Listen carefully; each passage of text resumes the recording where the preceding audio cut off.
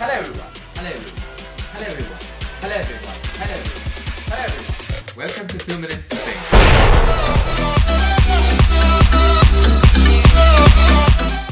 Hello everyone. Welcome to 2 Minutes to Think. My name is Jeswin. Today we are going to discuss about one of the most commonly spoken and trending news which is WhatsApp privacy policy versus the Indian government. In the recent times, you would have all come across this particular screen on your WhatsApp page, which pushes a notification asking you to update your WhatsApp. So first, why is it so important to talk about this issue today? Over a population of 130 plus crores in India, we have 50 crore people using WhatsApp, active users I mean to say, and 40 crore people who are actively using Facebook and 20 crore people using Instagram and 1 crore people using Twitter. Having such a huge user base, India as a country, we never had a particular protocol saying that these are the do's and don'ts of using social media. Whereas if you compare it with Europe, they already have a law which has to be abided by the people. So India being a country and having the world's biggest WhatsApp users, the IT segment of India has recently drafted a law which has to be followed by the people.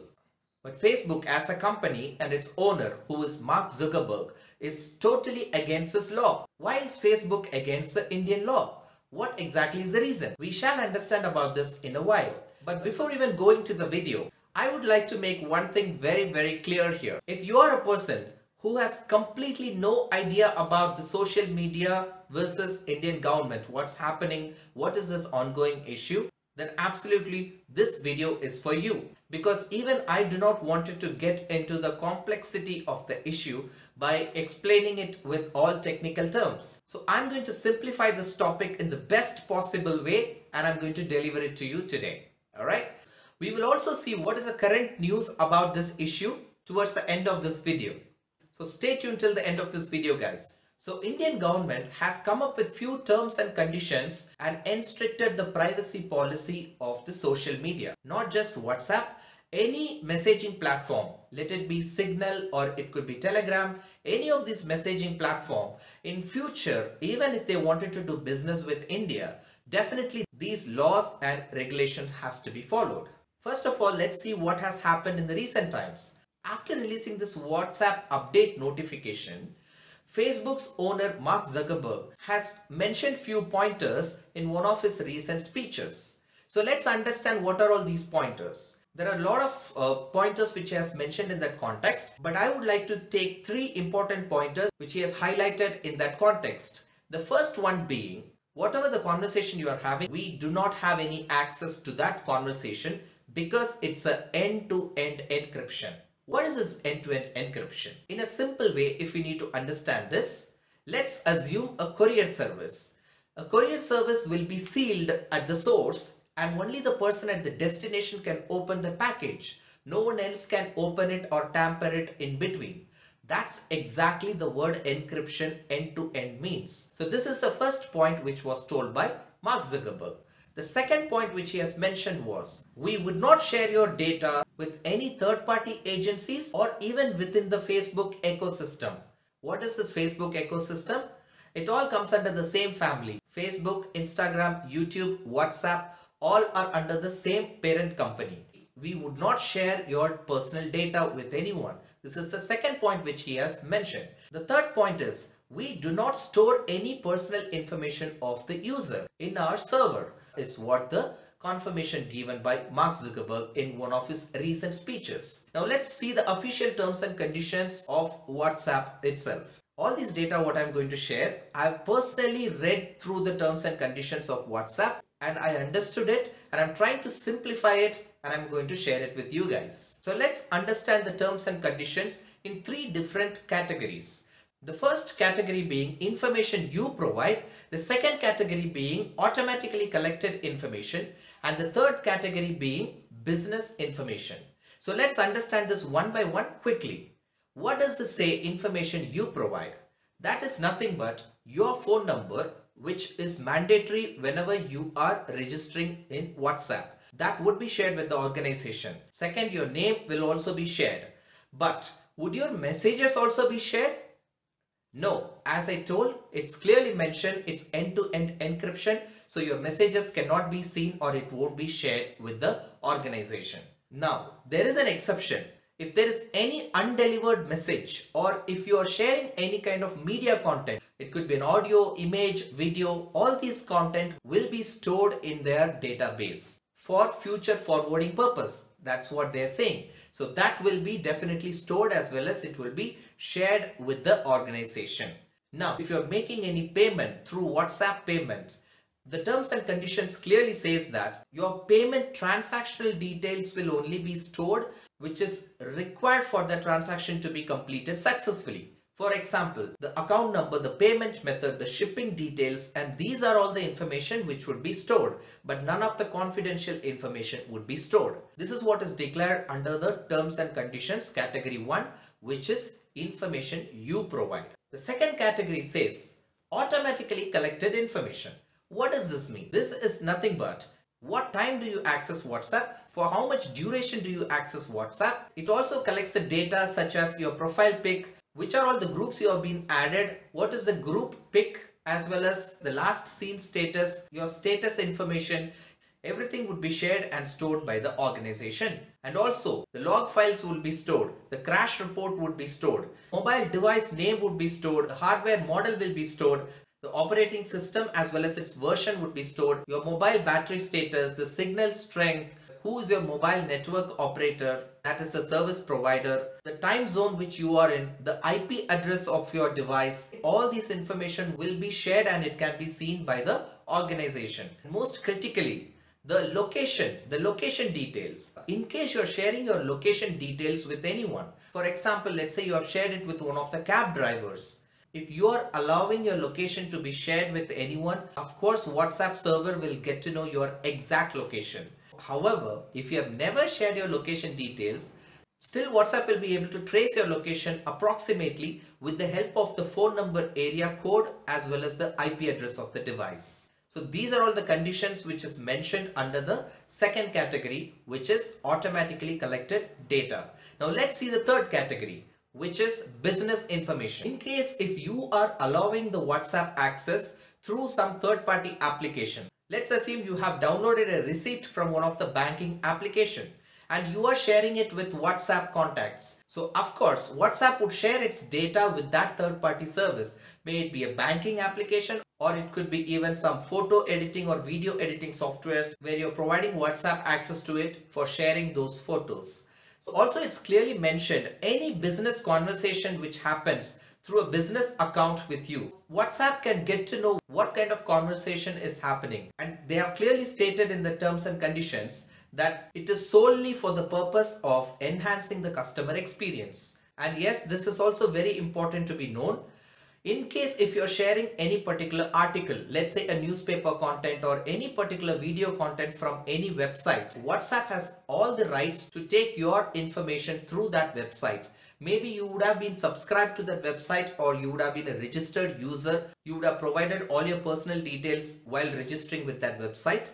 Yes, if you are sharing any particular document or any article through WhatsApp of that website, then WhatsApp can definitely take your details through that website itself. In case you wanted to delete WhatsApp at some point in time, just by uninstalling the application, the data would not get removed from the WhatsApp server. It would still be stored until and unless you do an in-app deletion.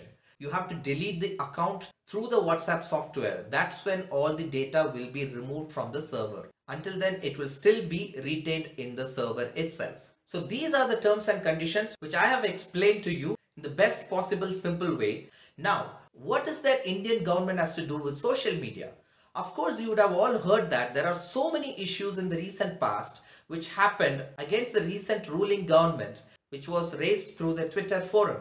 People as well as celebrities raising their voices against the current government for the farmers bill protest. So all these are the recent incidents where the central government came to a conclusion. Let us try to frame a particular set of rules which has to be abided by any social media company in case if they want to do business with India. So what are those terms and conditions? Now let's understand the government's side of it. The government says there can be a lot of fake news which can spread across the nation, which can create a huge threat among people. So we wanted to stop this at any cost. So that's the reason why we are initiating a protocol. So the first request of government is there has to be few officers appointed by Facebook in India itself who will be called as nodal officers and they will be in charge for any claim, legal claim against Facebook. If there is any cyber related crime against Facebook or WhatsApp or Instagram, then yes, this particular nodal officer will be in charge and they will be accountable for it. There is a validity of 15 days period within which they have to address it and they have to close that particular case. So this is the first request raised by the Indian government. The second request is, in case if it is found to be there is a particular fake news which is spreading, then WhatsApp should come forward and disclose the origin of that particular message. Who was the source, who sent this message at first. So we should be able to trace it back. So this was the second request which is raised by the Indian government. Facebook is not going to get affected by the first request definitely they can appoint and designate nodal officers in India itself, which is a valid claim.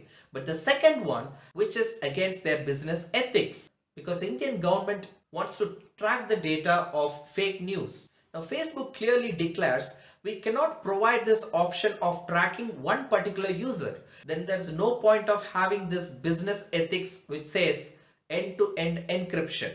We cannot share the details of a conversation between one person and the others and we cannot allow the government to have the transparency of who was the originator of that particular message. Now Facebook also says today you, it could be just few messages which you wanted to track which you suspected to be a fake news. But you will have a scope of penetrating into a huge customers messages which we would not allow. There would be no point in calling WhatsApp as an end-to-end encryption. People have the faith on us just because their entire conversation is completely confidential. There are a lot of people who are journalists, who are doctors, who are lawyers, who have the personal conversation between them, having the faith on this particular platform. If we disclose that information, then definitely it is against our business ethics is what Facebook says. So in turn, the government says, if today you're not agreeing to share this data with us, Maybe tomorrow there could be a huge communal clash between people. They can send anything to anyone. There can be a lot of cyber criminal issues which can be reported. It would be difficult for us to even trace out who is the cause behind this issue. So that's why we want a proper legal policy to be followed. We are following a fair privacy policy across the globe and we will never let any harm to happen through our platform.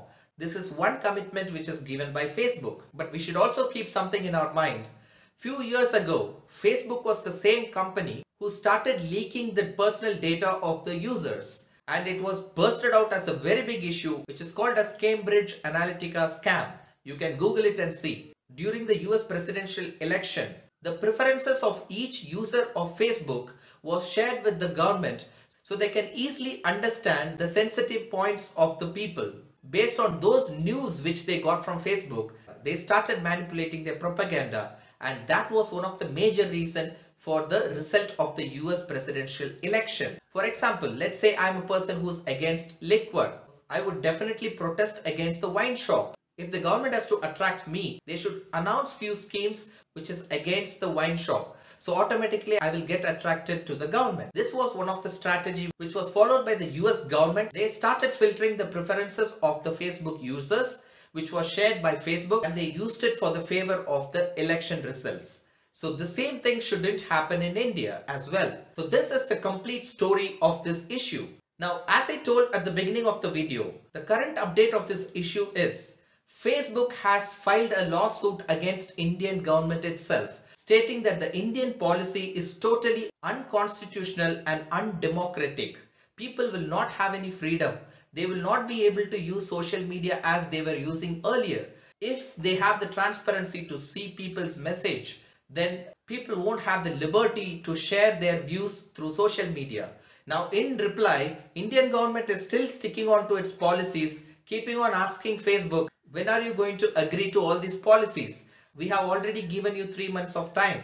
So your deadline is going to get over. They are constantly pressurizing Facebook. But towards the end of this video, I would like to ask you this question. Do you think what Facebook fights for is correct? Or do you think the government's voice on this privacy regulation is correct? Which one has to be followed? Which one has to be imposed? Let me know in the comment section one recent incident which I would like to share with you all. During this ongoing issue, the latest update which is floating across the social media is there's a concept of three red tick mark like how if a message is delivered we get double tick there is a concept of triple red tick mark which signifies that the government is tracking that particular conversation. So this is one of the latest news which is spreading across social media which is a totally fake news. Please do not believe it. Even if someone shares it with you, please do not believe these kind of messages. Now guys, let's think about it for a moment.